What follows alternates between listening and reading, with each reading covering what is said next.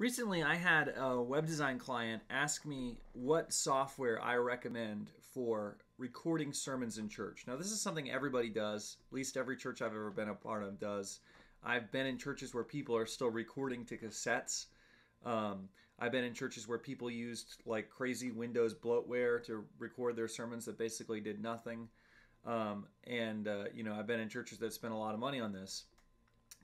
Uh, as far as professional software goes, you get a couple options. Um, Apple has a program called Logic. It's uh, very expensive and does tons of stuff, but you don't need it. Uh, I wouldn't spend money on that. Um, Adobe has something that's part of the Creative Cloud called Adobe Audition. Um, it is very good, and if you have the Adobe Creative Cloud, you know there's no sense in not using it if you unless you know you just don't want to teach people how to use it.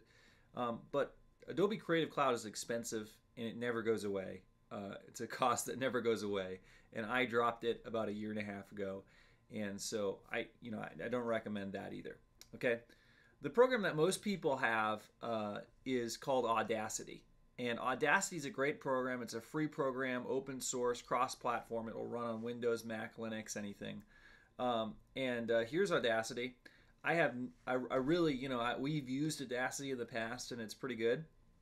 Um, it's the, my my problem with Audacity is a couple things. Um, first, I, I really don't like the interface. Um, I just think it's a little bit too busy and kind of ugly, and for me, that's that's a problem. And the, the problem with the busy, ugly interface is that most of the time you have a volunteer, maybe someone that's not super tech savvy that's doing this stuff, and they look at this and they just get you know a little bit intimidated. Um, my second problem with Audacity is that out of the box, it doesn't export to MP3s. You have to download extra software, and I don't really care for that.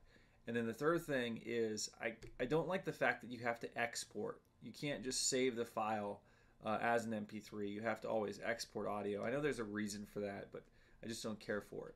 And so, but Audacity does a lot of stuff, super powerful software. In fact, just as powerful really as uh, Audition and um, almost as powerful as Logic, but uh, that's one option. All right. On the other end of the spectrum, um, there's a Mac app I've used sometimes called KVLT, and um, KVLT I think it costs like a dollar ninety nine or something like that, some very small amount of money. It's it's Mac only, um, but all it does is record.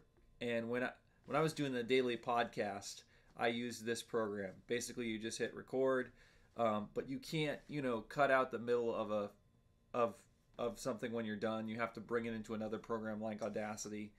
Um, basically, it's just good for recording and seeing the waveform as you record, and very easy to export to MP3, you know, AAC, WAV, whatever you want to export to. So that's an option the, the third one, one that I just recently found that I really like and has become my choice and my recommendation, is a program called Ocenaudio.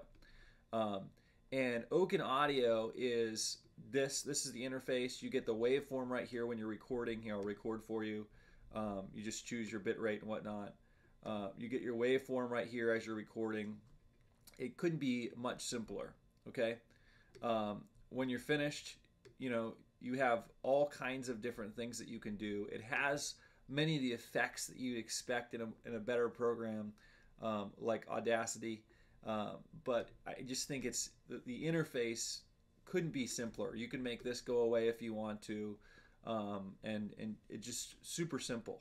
And so I like that. The other thing I like about it is when you're done with it, you can just go save as um, and choose MP3 and I think that's just a little bit more transparent than the Audacity way. And so this is my my choice.